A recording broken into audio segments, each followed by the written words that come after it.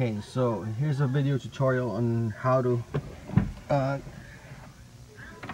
diagnose your ECU for Honda OBD1 um, ECUs. You, you get this two wires up here.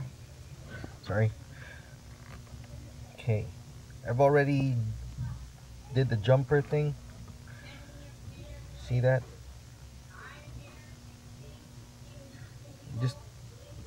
Jump the two wires.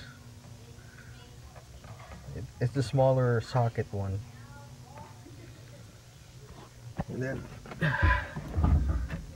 what you do next is put it on accessory